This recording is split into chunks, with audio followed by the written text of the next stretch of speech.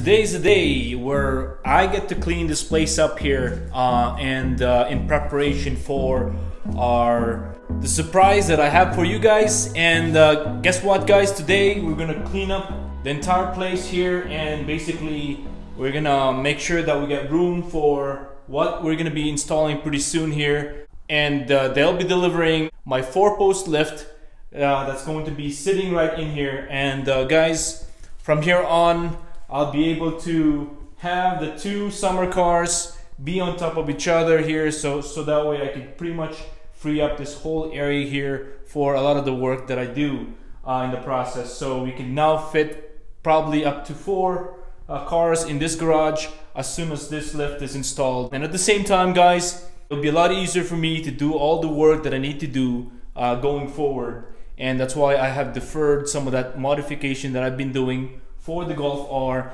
and uh, since uh, we are having the lift pretty soon might as well wait for the lift to be installed so that way it's a lot easier to actually get those things going. So anyways guys stay tuned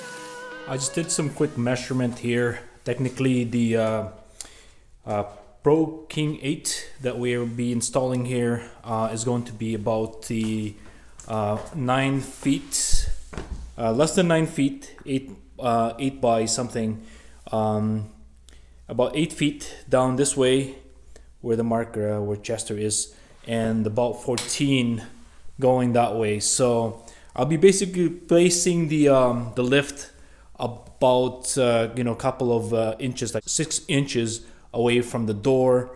Um, I will be having the uh, it's the the ramp is basically a removable ramp, so I could pretty much have the uh, whole lift be close to the door here um, as much as I can, probably about six inch off the door, and um, the actual ramp will be dangling in the process, and it's a removable, so I'll just have to remove it um, every time I lift it up. So it's going to be situated here, guys. Uh, it's a perfect space for uh, the lift uh, right at the marker there where Chester is. And um, it will be basically going this way. So as you can see, there's still plenty of room uh, for me to do work here. And uh, my little uh, desk over here. Um, it shouldn't be any problem there. Um, soon here, we'll be seeing pretty much the lift over here. So yeah, I can't wait, guys. Pretty excited, and I'm gonna run you through, and I'll be doing uh, uh, the install here with the guys, and uh,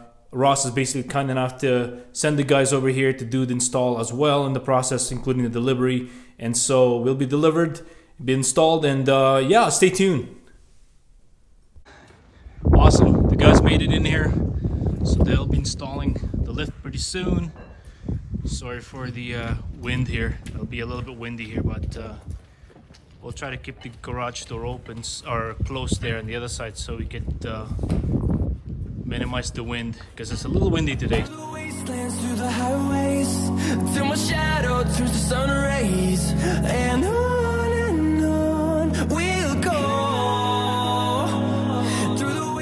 The lifting guys, man, they work so hard.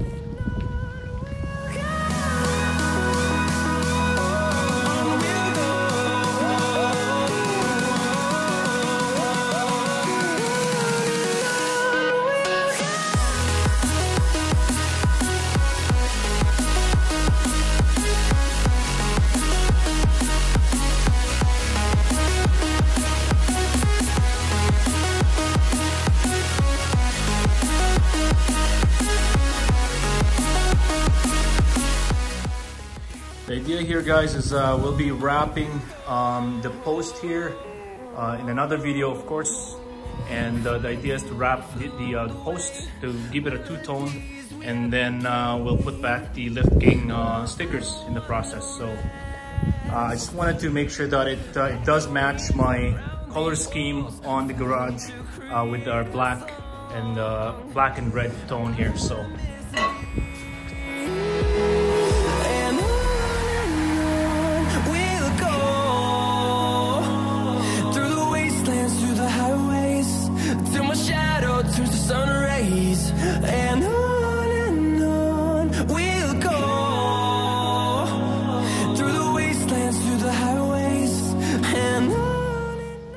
wanted actually a two-tone, but uh, it came red.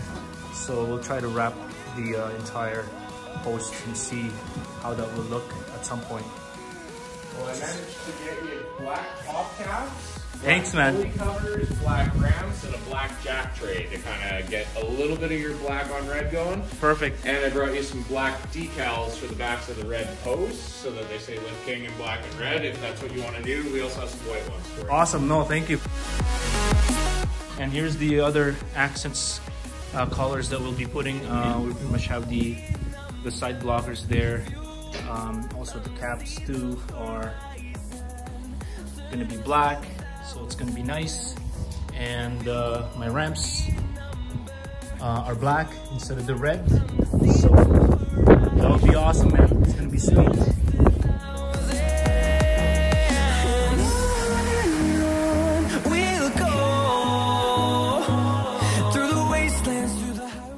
It's already shaping up pretty nice. That's exactly how I pictured it, guys. We'll go through the wastelands, through the highways, and on and on we'll go. How many installation you guys do in a day, guys? Uh, when we're busy on a good day, we can do three in a day as long as they're all kind of close to each other. Gotcha. What sort of good tips you can give me here on the upkeeps and the whole? Always remember to use your locks. Never leave a car suspended on your cables. It's one of the most important rules of owning a hoist is make sure that that car is always resting on the locks and never left suspended on the cables. Other than that, keep everything lubricated and just remember when operating the lift that it requires your undivided attention. One of the most common issues we have with guys is working the lift while talking to somebody and not actually paying attention to what they're doing, and then suddenly things get a little weird. Exactly. Is it important, guys, to uh, you know how the garage floor is kind of sloped a little bit, right? Yeah. So do we have to uh, lay, level it a little bit, um, or should we uh, like put uh, some kind of uh, padding in the bottom to level it, or what's the right?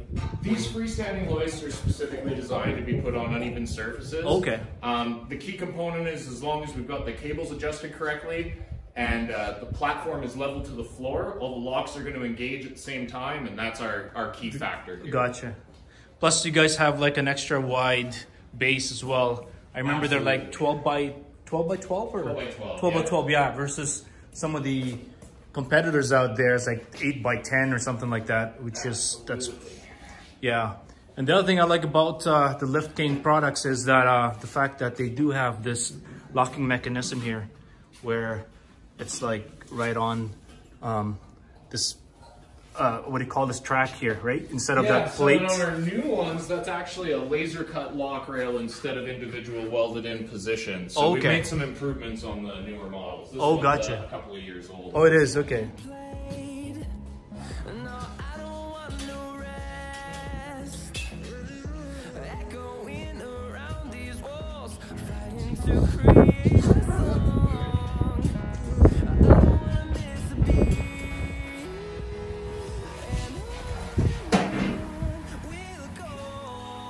So I guess get our first beam in. No, we're, we're making mistakes. That's all right, guys.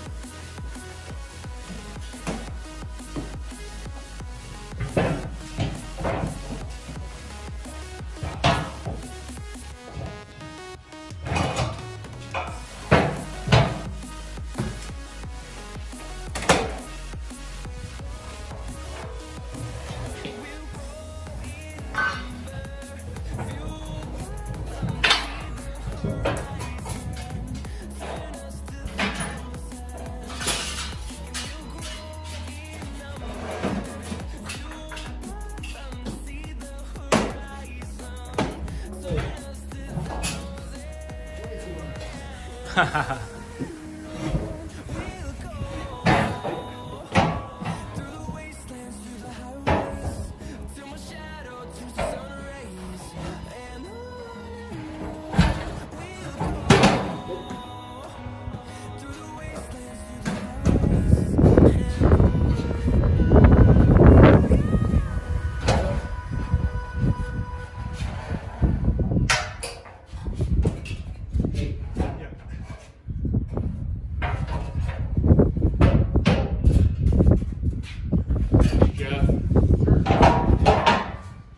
Goes our top caps.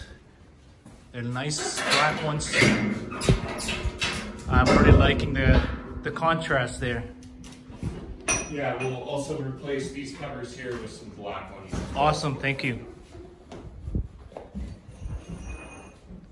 It might be enough to truly give me the uh, what I'm going for. Right? Yeah. I might not even have to wrap this whole thing. Set the, uh, okay, you got enough room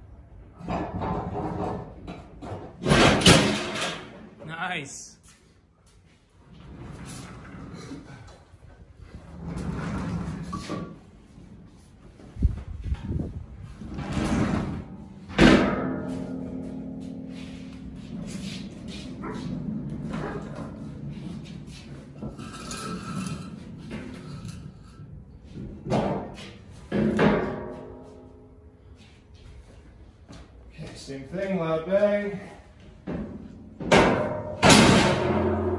Alright, our part's done. Looking Well, nice. later, I'm getting hot. It's it's nice and warm out there today, guys. Yeah, at least the wind seems to have chilled out a little bit too, right? It is. Okie dokie. Chester wanted to come in here or come out. Well, you bring him on in a little bit. I love dogs. Yeah, yeah, but they sometimes uh, get too excited. He does get excited, especially when he sees this new toy in the garage.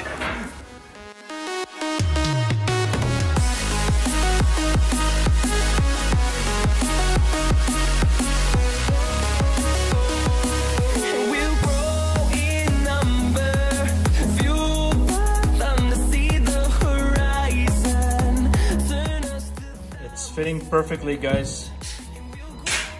Yeah, it's gonna look nice. Yeah, it's a great center, max center on the uh, max center on my door right there, which is really nice.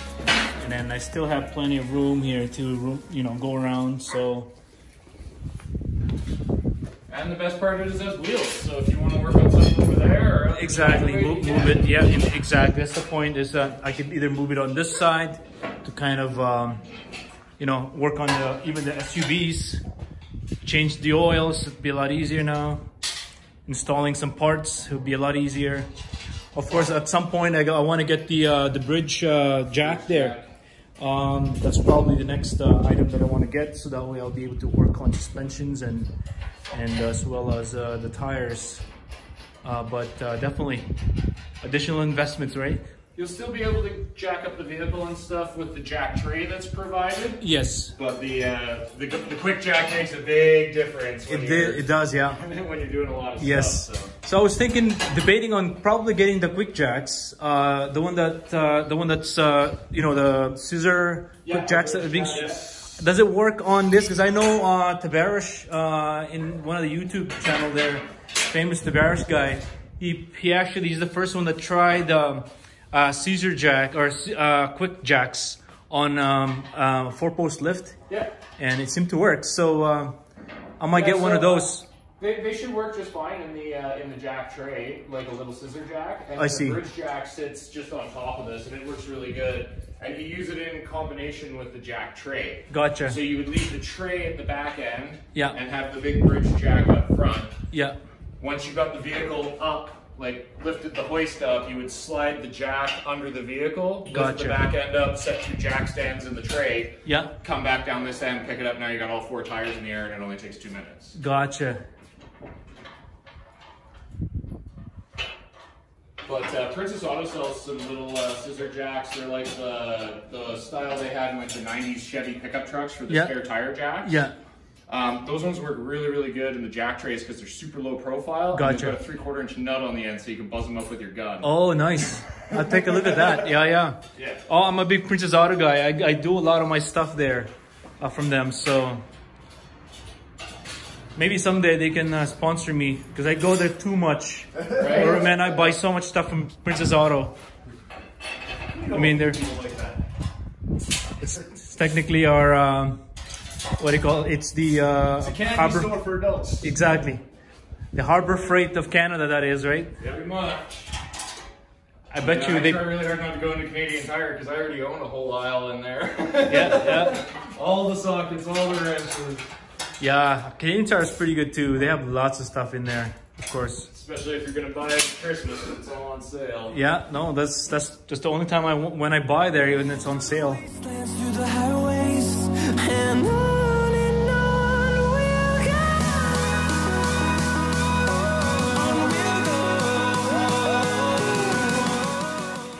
Uh, one of the common things that a lot of guys will do, you're probably going to want to do this because the Volkswagen's super low. Yep. If you cut these off so that they only stick up about an inch or two above the runway here, Gotcha. they still function as a bump stop, so Yeah. you're not going to run off the end of the hoist. Yeah. You're not going to hook any of your lower spoilers Especially or your when bumper or I anything. lower it even more, right?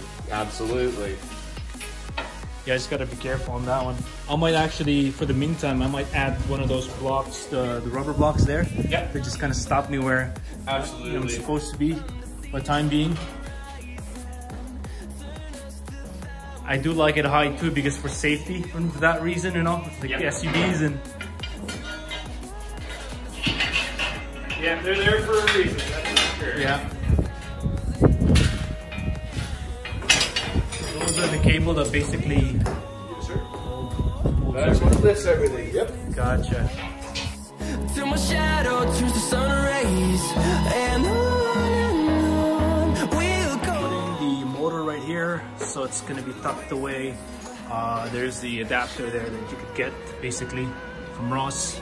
So that's going to be a nice addition there to kind of tuck that motor away in the process to have lots of room on this corner. And allows us to stay as tight to the wall as possible. Exactly, so it gives us that possibility of having it closer to the door and closer to the wall. Minimize space in a small three-car garage.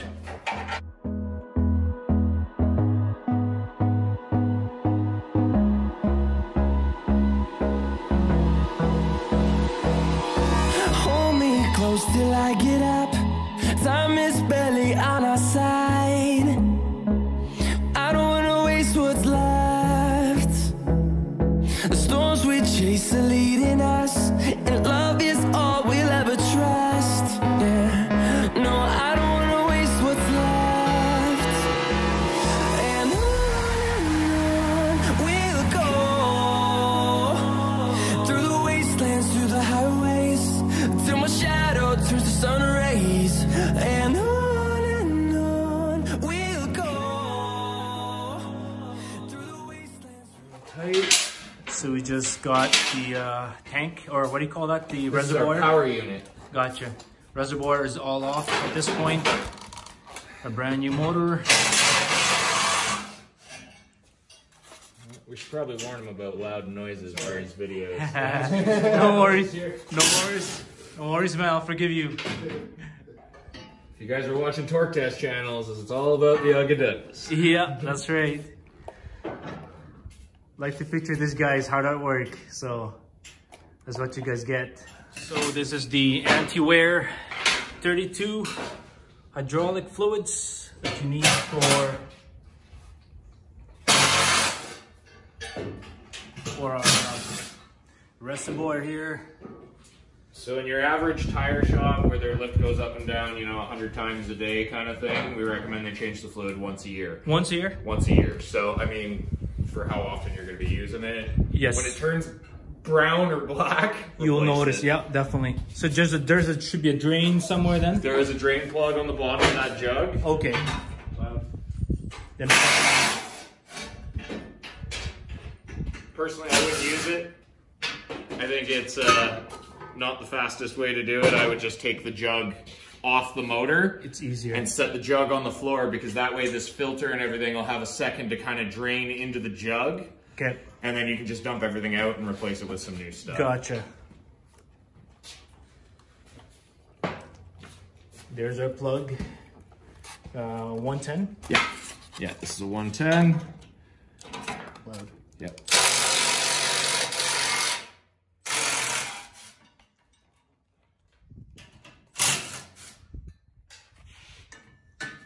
Replacing our cap here to give it an accent, like I said. That's looking sharp already. On our newer models, we have a vent line that's attached to the other end of the cylinder. Okay. Um, you don't have that, so this isn't going to do anything. Just don't worry about that one. All right.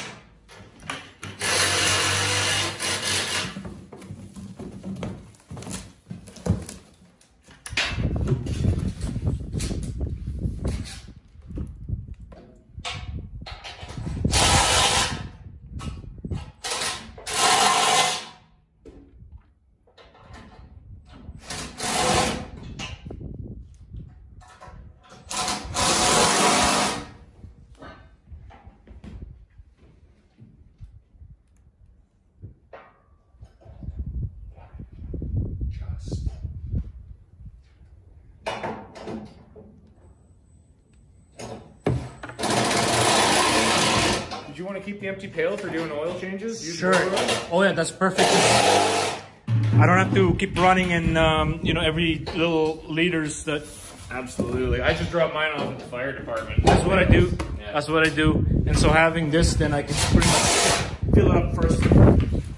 Oops.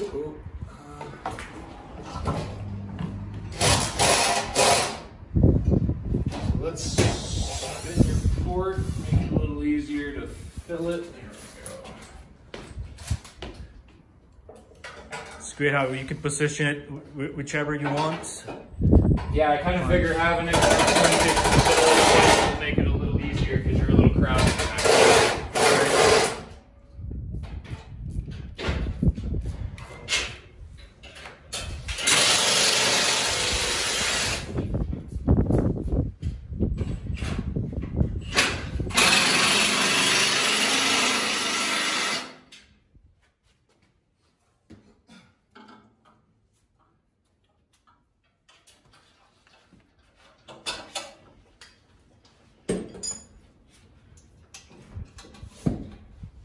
You guys do this quite a bit. I could see having one guy lifting that thing. I don't think I can handle that, man. It's Because I'm tall too, I'm, I'm, I'm pretty lucky because he can't quite do it like this. It's hard, man. Having and that's pretty heavy too, right? along the way, melodies we haven't played. No,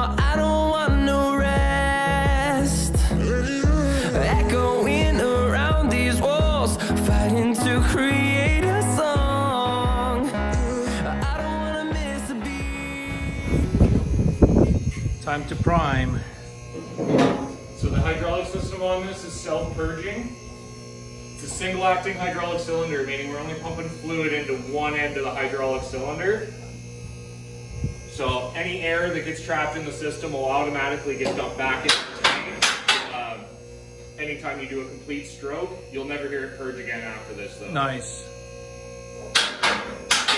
So, right now you can hear four individual locks clunking. Once Uh-huh. you've got this all set up, you're gonna hear it all clunk at the same time. Gotcha.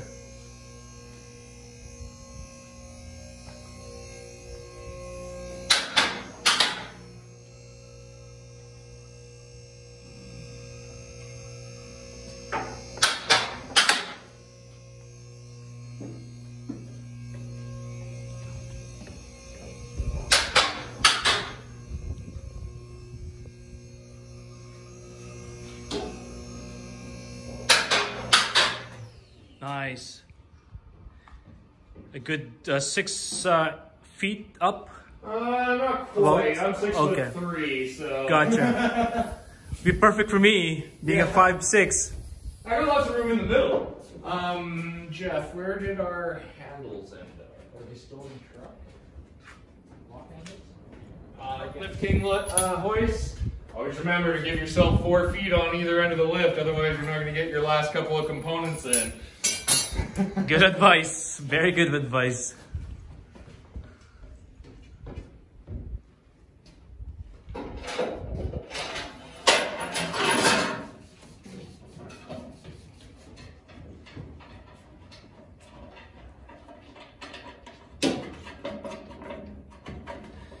And by the way, guys, anybody that's buying uh, a Lift King product, uh, Ross has an amazing video how-to on his channel.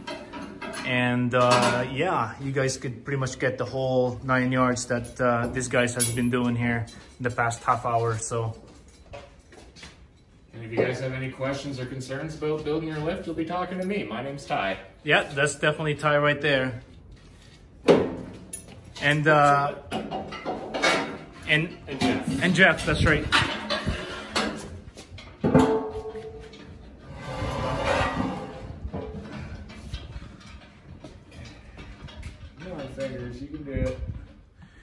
When we built the house, uh, basically here guys, I uh, purposely got the builder to put in the side lift or the high lift doors with the uh, lifters uh, on the side there and how you could tuck the, uh, the door pretty much all the way up there, uh, leaving like almost two to three inches uh, uh, of the ceiling there to give you plenty of room to get your uh, small car up top and be able to have another car on the bottom. So plenty of room guys. I got about uh, a shy of 11 feet up and uh, that's more than enough. Even a 10 feet uh, ceiling there would probably do well but uh, just to make sure i had about 11 uh, on mine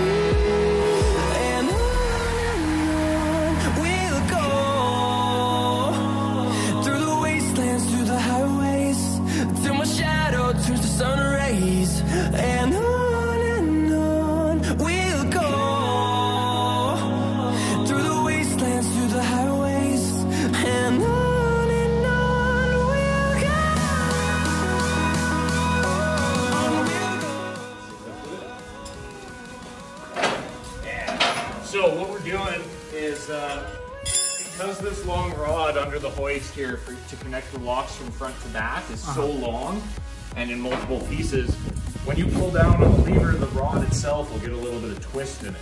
okay And then what happens is the front end opens really good, and the back end doesn't want to open quite as far because it loses a little bit of the, the action in the twisting of the rod. okay So if you set the first two set screws, mm-hmm. Set the last set screw here, and leave this guy loose, and get one of your buddies to half cock the locks at the back end. When you go and you tighten all this really tight, it should twist everything back into a horizontal position. uh-huh And that's gonna give us a little bit of counter twist in our system to make it so that our locks open perfectly. So you see how they come down nice, got like a two inch gap on the sides of the post. Perfect lock. nice and you could see them throughout too. That's the awesome part of it, right? Absolutely. Jeff, well, I got a couple of loose talk apples here to it.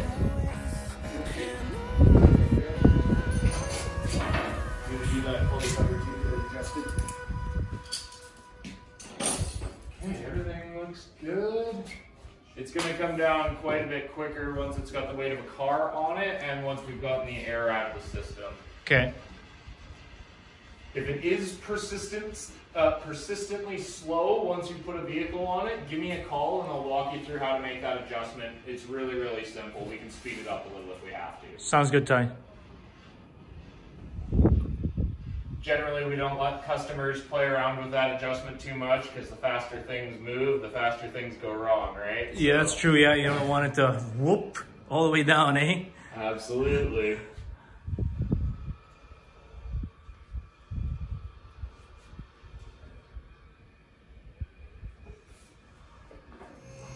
Time for cable adjustment. So, I'm going to show you how I do this too, because uh, once a year you should check your cables on the lift. Um, every cable on the lift is a different length. Okay. They are going to stretch a little bit over time, but they're all going to stretch a little differently because every one of them is a different length. Okay. So, for example, let me just get this lined up. For example, this post here, this cable comes off the post, down and around a pulley, and just goes straight onto the end of the hydraulic cylinder. Okay. So that one's only maybe 15, 20 feet long. Pretty short, yeah.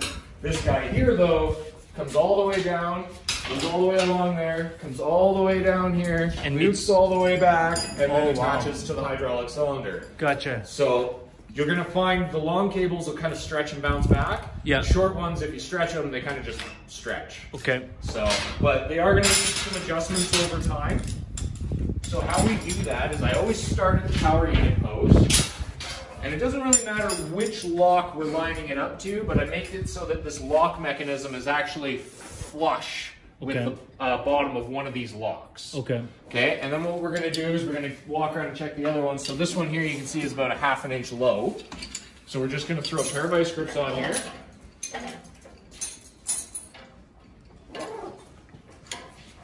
And this is how we're gonna get all our locks to work at the same time. Oh, By getting our cables equalized. And we're just gonna bring this corner up a bit.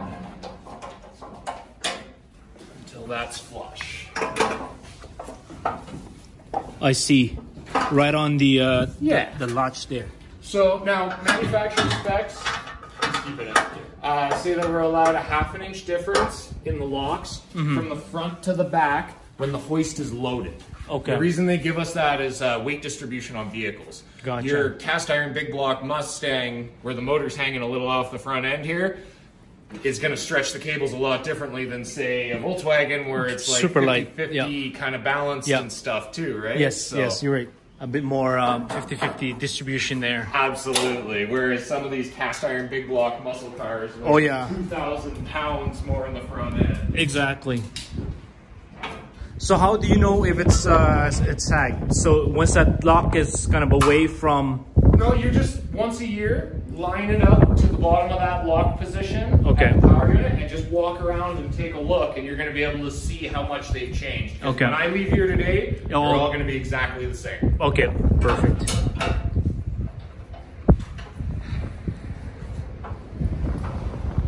You'll also start to notice as the cables need to be adjusted, there'll be some. Uh, the locks will start doing a little bit of weird things. Okay. Uh, for example, uh, if you had something really heavy on here and the cables need to be adjusted, you would kind of notice the handle would move twice. Yeah. And that's the back locks and the front locks clicking in at two separate times. Okay. So, and they'll sound different too. So, I'll show you in a sec what. Okay. Close this door in a minute here.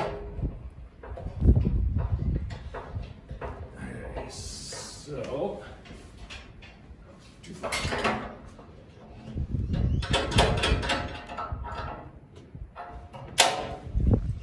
If I've done this correctly, you're one good plunk from all the locks. Not quite.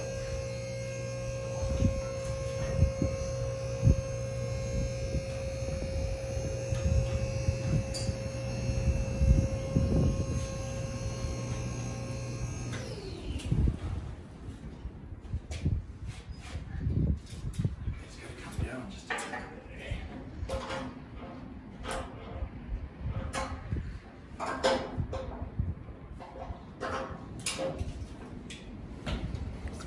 For you guys to come out here to do that uh, small service, how much would it be? Uh, 179.95, I believe, is our uh, cutout and service. Gotcha. That's before uh, parts and, and everything else. Gotcha. You just close this other door here so that Yeah. way you don't get Perfect. There. Too much wind going on.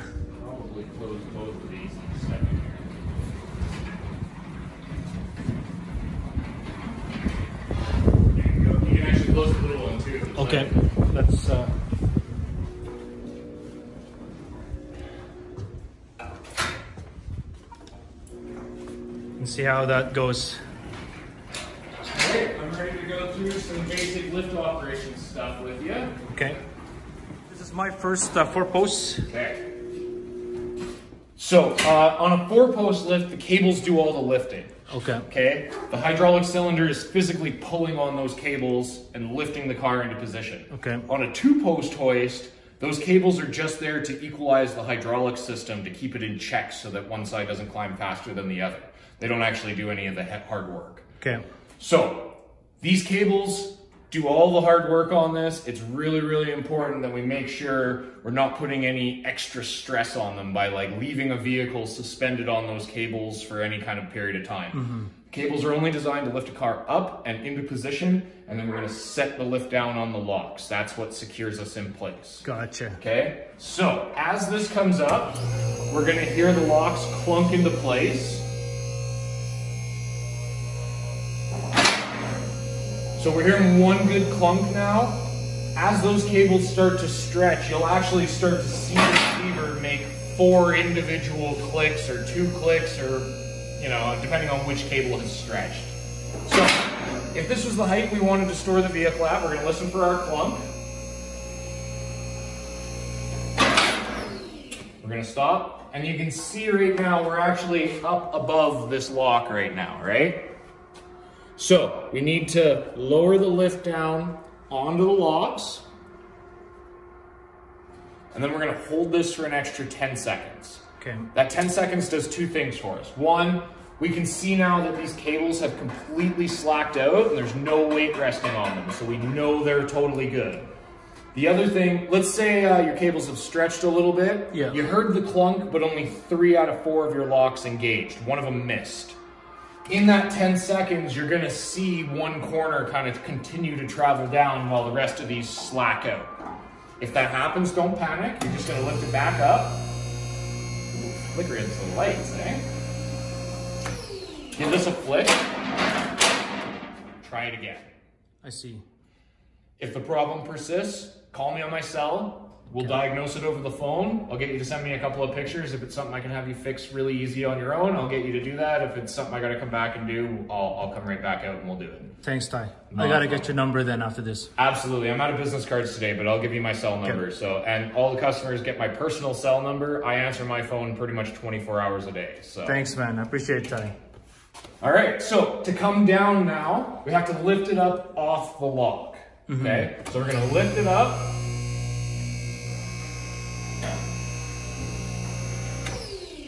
Now, one of the most common issues we've had with guys over the years is they'll only open this lock just enough that this one lock is open. But that one over there is still inside the post, Yeah. right? So when you're opening your locks, pull down all the way, and you'll be able to see the locks in the far end too, poking out under the cross. Gotcha. Yeah, I Okay. could see that. So hold your locks all the way open, all the way past this bottom lock, and use your red lever here to release the hydraulics. Now, we've had a couple of guys that have wanted to hold the locks open all the way to the floor. Mm-hmm. It's very important that Oops. after we get past this bottom lock, mm-hmm. we're gonna let this lever go because these lock mechanisms hang under the crossbeam here. Yeah. There's a potential that you could actually set the lift down onto the tips of those locks if you hold this all the way to the floor, right? I see. So once you're an inch or so past that bottom lock, let the one lever go. Okay. Any questions or concerns so far? Uh, not so far. I'm glad that I'm actually taping this so that way I could actually use it for I, I do give guys a lot of information pretty quick. So. No, it's awesome because then you know one uh, some of our subscriber here will benefit from it. Second, it definitely benefit me in the long term because I have to refer back to some of those videos to, uh, you know, get some info, right? Absolutely. Awesome how to there. Um, little things to kind of watch for on your yearly maintenance. Check all your little 10 mil nuts and bolts and stuff like that. These components are in motion, so I mean they they do have a tendency to kind of work Squeeze them themselves loose. Yeah. So make sure all those are snugged up. WD-40 inside your posts on these white blocks. Yeah. Um, what happens is you get little flakes of powder coating build up on those Teflon blocks, and then Okay. it gets powder coating on powder coating, and it gets Yeah. squeaky and choppy. I see. WD-40 seems to rinse all that out of there really well. Plus WD-40 on your cables. As well. Really, really good for the life and longevity of your cables. Okay. When you're going to lube your cables with some WD-40, if you lift the lift all the way to the very top, 90% of all the cables will be inside this runway. You can just spray down a rag and walk back and forth a couple of times. I see. Good tip.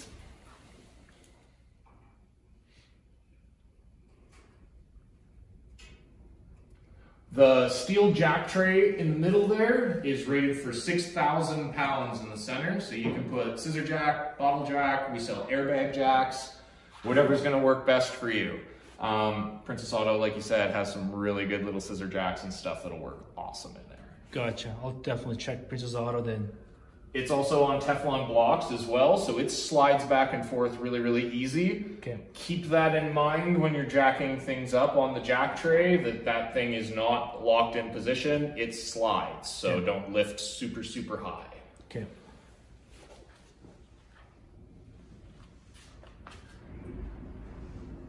It just got crazy windy out there. It holy is. moly. It's so windy. We live in a windy city, so It's not as bad as Lethbridge, that's for sure.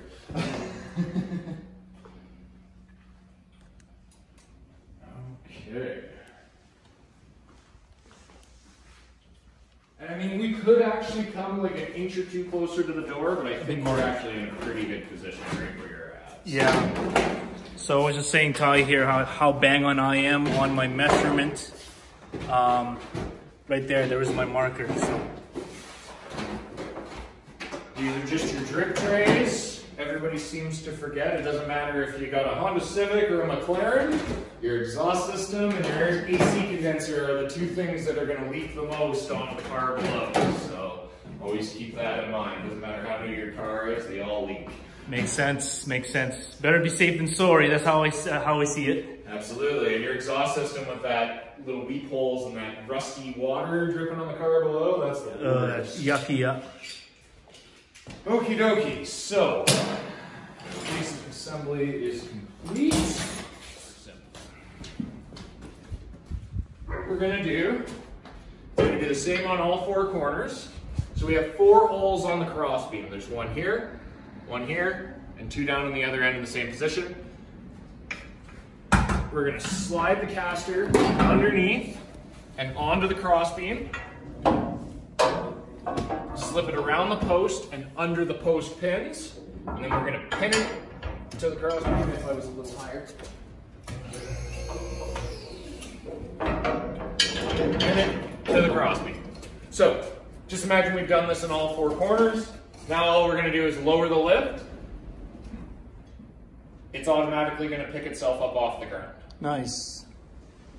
Casters are rated for the capacity of the hoist. So uh, you can actually roll this thing around with a car on it. Your garage is not really going to work too well because you got a little too much slope, on your Slope going on. Yeah. But you could still move it around a little bit. When you end up with your rubber pads under here, we're going to use the casters to kind of sneak them under there so that we don't have to like lift anything awkwardly or do any of that. So Makes sense. just lift them back up and that'll set everything back down.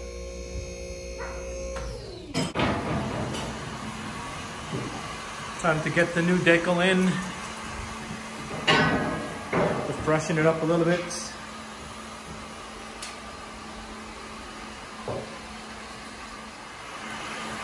Oh, they're coming out nicely.